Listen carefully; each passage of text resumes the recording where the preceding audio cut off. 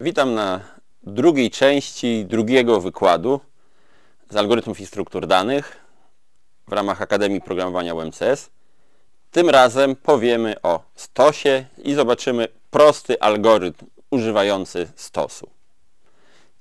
Stos, podobnie jak kolejka, jest, taką, jest rodzajem ubogiej listy. Tym razem jest to taka lista, w której wszystkie operacje wykonujemy na jej jednym końcu. To oznacza, że to jest lista, w której dodajemy, usuwamy i czytamy element na jej jednym końcu. Czy jest to początek, czy koniec, nie ma znaczenia. To, to zależy od tego, jak jest nam wygodniej to zaimplementować. Do tego dochodzi operacja empty, która sprawdza, czy, która odpowiada nam na pytanie, czy stos jest pusty, czy nie. Czyli jeszcze raz, mamy cztery operacje. Empty, która sprawdza, czy stos jest pusty. Operację push, która wstawia element na stos. Możemy powiedzieć, że to jest odpowiednik operacji pushback w liście. Mamy operację pop, która zdejmuje element ze stosu, czyli jakby usuwa element z listy. Możemy powiedzieć, że to jest odpowiednik operacji popback. Oraz mamy operację top, która zwraca nam wartość elementu na wierzchu stosu. W przypadku listy to może być na przykład operacja back. Podając też odpowiedniki listowe tych operacji, mówiłem cały czas, wymieniamy operacje operujące na końcu listy. Równie dobrze moglibyśmy, mógłbym, mówi, mógłbym podać operację push front, pop front oraz front. O ile kolejka jest taką strukturą, w której te elementy, które pierwsze do niej wchodzą, także pierwsze wychodzą, to w stosie, w przypadku stosu jest odwrotnie. To, co ostatnie położyliśmy na stosie, to jako pierwsze z tego stosu zdejmiemy. Nazwa jest tutaj adekwatna. To, to wygląda dokładnie tak, jak w stosie rzeczy. Jak coś układamy na stos, to potem zdejmując ze stosu, jako pierwsze zdejmujemy to, co ostatnie położyliśmy. Tak właśnie działa stos. No dobrze, a jak zaimplementować stos? No, możemy wziąć dowolną implementację listy. Czy to implementację przez listy wskaźnikowe, czy to implementację tablicową. Nie ma to znaczenia. Tak? To są zwykłe operacje na, na liście. Za chwilę zobaczymy, jak wykorzystać stos do wyliczenia wartości wyrażenia arytmetycznego zapisanego w odwrotnej notacji polskiej. Zanim powiem, czym jest odwrotna notacja polska, no, wypada powiedzieć, czym jest notacja polska. Notację polską wymyślił polski logik Jan Łukasiewicz. Jest to sposób zapisu wyrażeń algebraicznych w taki sposób, żeby nie trzeba było używać nawiasu. Zasada jest prosta.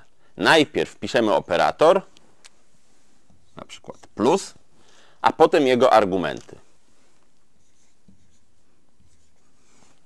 Takie wyrażenie odpowiada w naszej na co dzień używanej notacji infixowej wyrażeniu a plus b. Jeżeli argumentami operatora nie są zmienne albo liczby, ale wyrażenia algebraiczne, to po prostu wstawiamy je w to miejsce. Czyli jeżeli chcielibyśmy napisać a plus b razy c, to takie, takiemu wyrażeniu w postaci infixowej odpowiada wyrażenie, gdzie najpierw mnożymy. Pierwszym argumentem mnożenia jest suma a i c, a więc piszemy suma a, c, a następnie piszemy drugi argument, który tutaj też jest C. Jeżeli inaczej nawiasowalibyśmy, czyli, napis, czyli gdyby wyglądało to wyrażenie w ten sposób,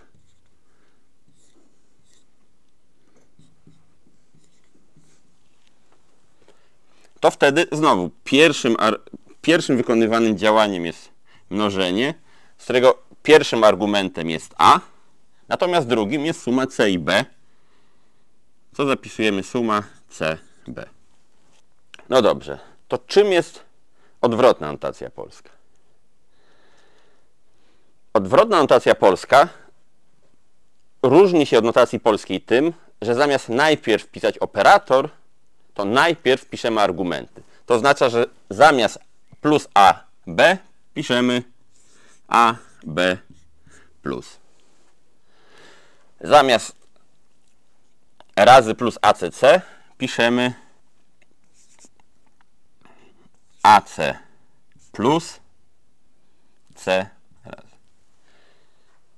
Widzimy już po pierwszym wyrażeniu, że odwrotna notacja polska nie oznacza, że bierzemy wyrażenie w notacji polskiej i odwracamy kolejność znaków.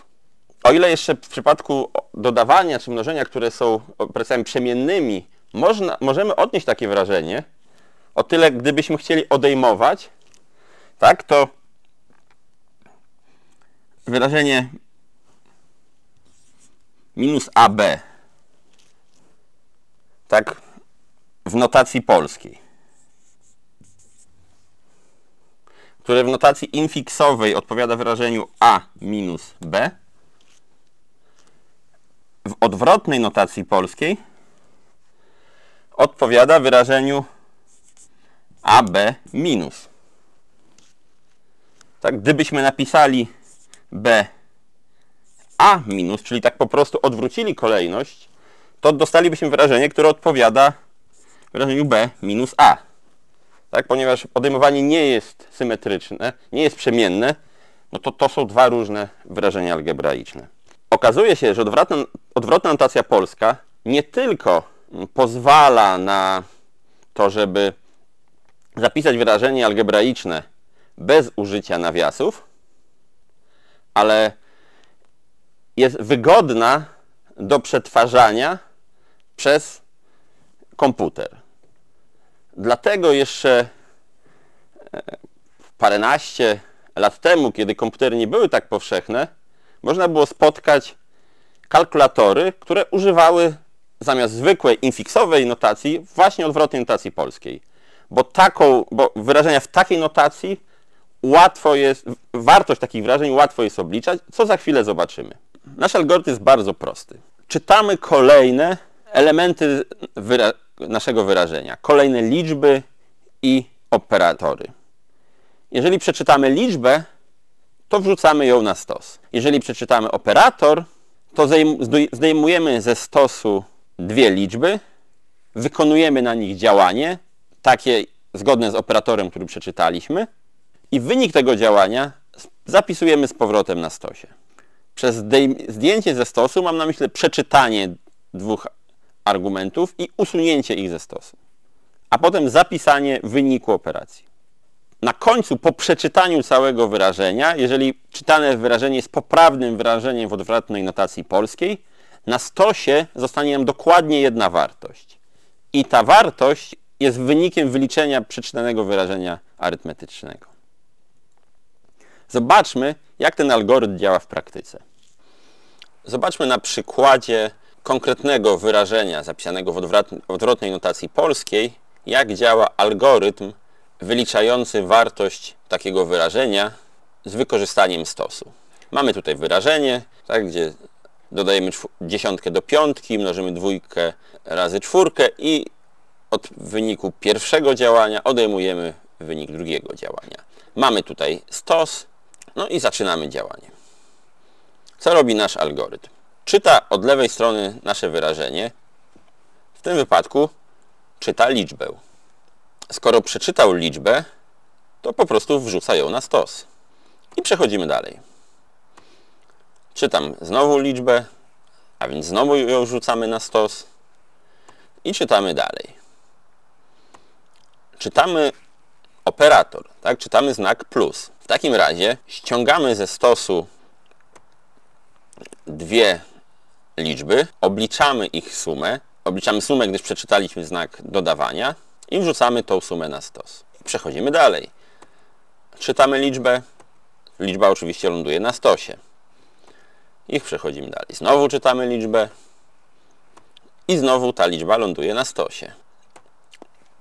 Czytamy operator mnożenia To oznacza, że ściągamy dwie wartości ze stosu, liczymy ich iloczyn i wynik mnożenia wrzucamy na stos. Przechodzimy dalej. Został nam jeszcze jeden znak, znak odejmowania, czyli czytamy dwie wartości ze stosu,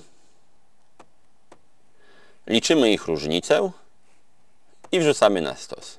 Zgodnie z tym, co było napisane w algorytmie, po przeczytaniu poprawnego wyrażenia na stosie została jedna wartość. Ta wartość jest wynikiem działania. To koniec e, drugiej części drugiego wykładu. W kolejnej części poznamy algorytm, który będzie wykorzystywał stos i kolejkę. Powiem, zdradzę, że jest to algorytm, który bardzo chciałem znać, gdy byłem w waszym wieku, a poznałem go dopiero na studiach.